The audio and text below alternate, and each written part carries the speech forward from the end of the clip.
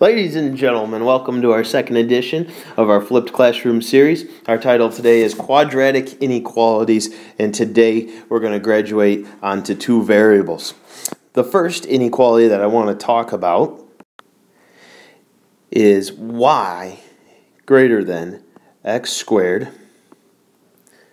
minus 7x plus 10. So right off the bat, you'll notice that not only are we using the x's that we had yesterday, but we're also introducing the y variable into our inequalities today. My first question is, is the ordered pair 1 comma negative 2 a solution?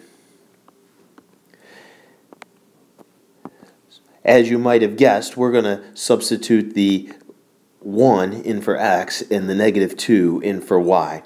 Thus we have negative 2, is it greater than 1 squared minus 7 times 1 plus 10. We'll do a little cleanup on the right side.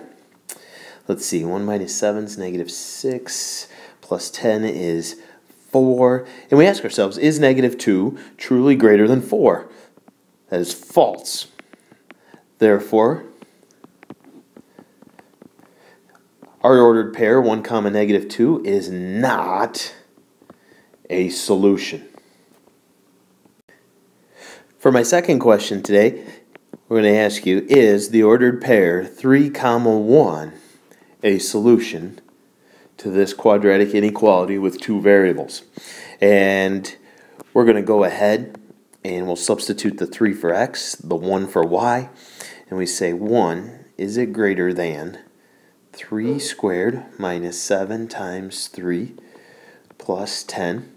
A little cleanup on the right side, I ended up with negative 2. And we ask ourselves, is 1 really greater than negative 2? I'd say true. Therefore, what kind of conclusion would you draw? I would say, therefore, the ordered pair 3 comma 1 is indeed a solution for this quadratic inequality. Now, when we try to solve a quadratic inequality with two variables, essentially what they're going to ask us to do is to simply graph the solution. So if we stick with the same inequality that we were working with a moment ago, y is greater than x squared minus 7x plus 10. Go ahead and grab your calculator. We're going to use a lot of calculator on these, and you'll notice right here in this window I took a picture of what the table feature on my calculator looked like after I typed the equation into y equals. Um, so we're going to just for a moment pretend that it's an equation instead of an inequality. Type it into your calculator and then go to the table feature. Um, if you're a little foggy on how to get to that table feature, it's uh, it'll you'll hit the second graph button. Okay, second and then graph in the upper right hand corner. Now what we're going to do is we're going to just, uh, even, you notice that I've moved up and down my table until I could identify, looks like my vertex is somewhere around 3.5. You'll notice that's right around when the y values start to turn around and, and start to uh, increase again. Now all we're going to do is we're going to take those ordered pairs that we see on our screen and start to plot them one at a time. And I'm going to start with the first ordered pair up here at the top of my screen, 0, comma 10. We'll put a nice point up here, 1, comma 4, uh, 2 comma 0, 3 comma negative 2, and so forth. And we're going to get ourselves a nice, uh, what I call a skeletal form of our parabola. Now, the next uh, important question we want to ask ourselves is do we want to use a solid line to draw our parabola or a dashed or dotted line? So it's, it, it's hard to, um, usually we get so excited we just want to draw our parabola in and draw a solid line. But you'll notice here, if you look at our original symbol, simply says greater than. That implies that we want to use a dashed or dotted line here as we draw our parabola. I'm going to try to dip down just a hair to show that the vertex is a little below those points. I'm going to come back up. And so we've got a nice dashed dotted line with the arrows at the end. Now, for instance, if we had if the inequality had said greater than or equal to, now that's when I would start to use that solid line. But I'd better erase that before we go any further. Okay. Now the very last thing we need to do is we need to decide where to shade. Essentially, do we want to shade inside the parabola or do we want to shade outside the parabola? And here's my rule of thumb. I like to pick a friendly ordered pair that lies somewhere inside the parabola. Technically, you could pick a point that lies on the outside of the parabola, and the only thing you can't do is you don't want to pick a point that actually falls on the parabola itself like 6 comma 4 you want to stay away from those points. But i think it's going to make your life easiest if you pick one that falls in the middle. You'll notice i've picked the point 4 comma 2 that's what i consider my test point so what I'm going to do is I'm going to try to substitute the 4 in for x, the 2 in for y, and then simply ask myself, is 4 comma 2 a solution? Does it satisfy this particular inequality? So we have 2 is greater than 4 squared minus 7 times 4 plus 10 is 2 really greater than, let's see, 16 minus 28 is going to be negative 12, plus 10 is negative 2, I believe. Uh, don't laugh at me if I screwed that up. But anyway, we ask ourselves, is 2 really greater than negative 2? I would say that's true.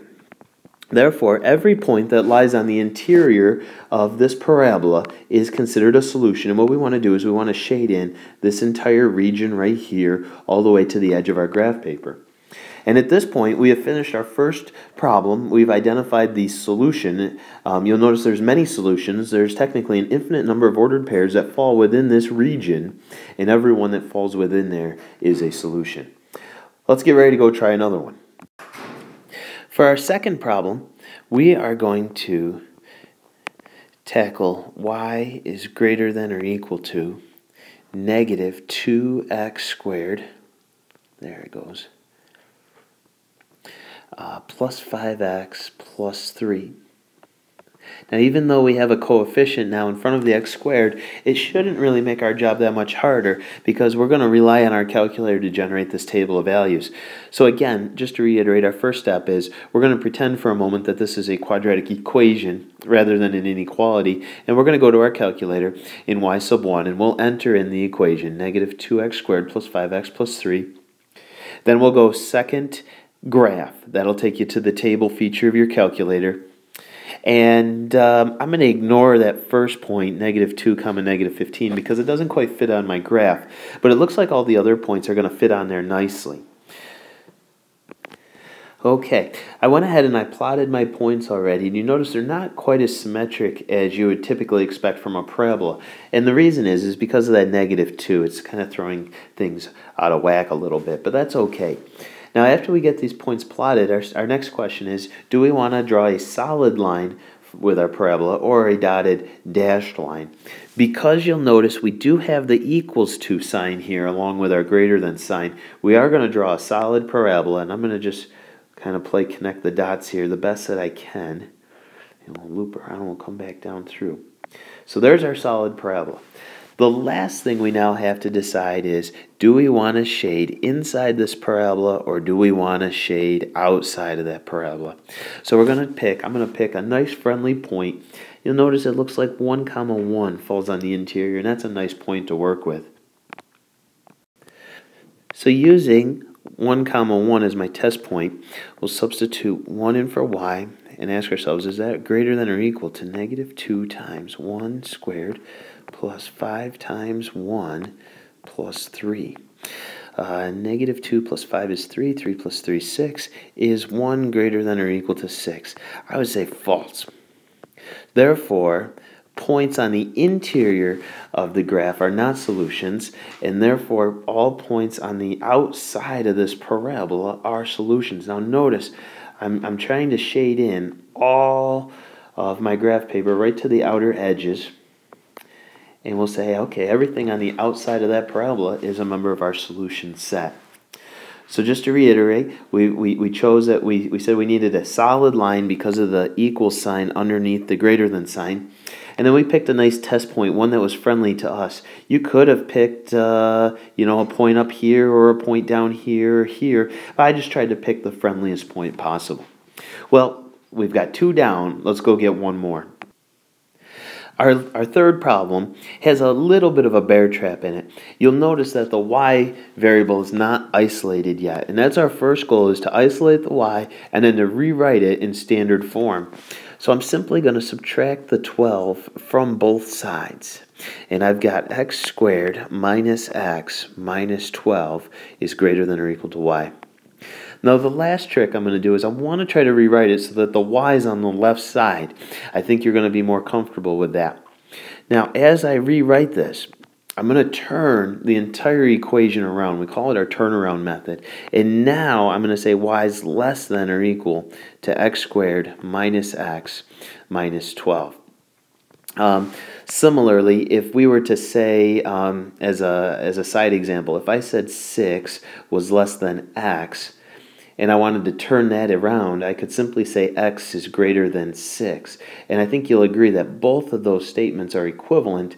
And uh, just when you want to put the variable, move it from right to left, we've got to turn that inequality sign around. Okay, now that we've got the y by itself and we wrote it in standard form with y on the left side, we're ready to rock and roll and we'll pick up the pace just a little bit. You notice we've already typed the uh, equation into our calculator, we've gone to the table, and it looks like the vertex is somewhere between x equals 0 and x equals 1. So I'm going to go ahead and I'm going to plot those points the best I can. My negative 12s are going to spill off the bottom of my page a little bit, but we'll kind of approximate where they go and we'll still get a nice looking picture.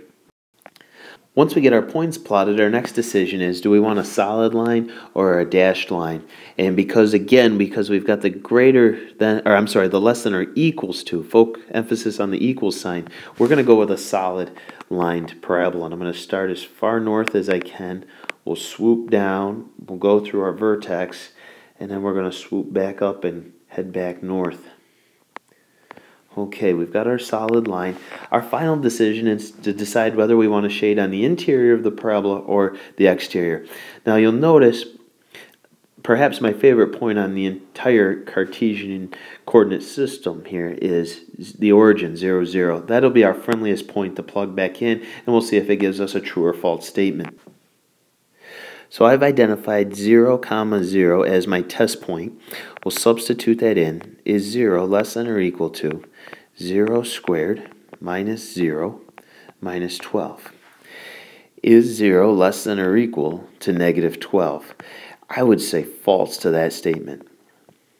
Therefore, any point on the interior of this graph is not a solution. Only the points on the outside or the exterior of this parabola are solutions. And we'll shade in everything that we can see here.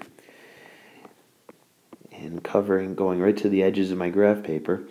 And we've now solved our third and final quadratic inequality with two variables. Well, I hope you've had uh, good luck taking notes. Uh, feel free to pause, rewind, and rewatch this uh, as many times as needed. And uh, we'll see you in class tomorrow. Good luck.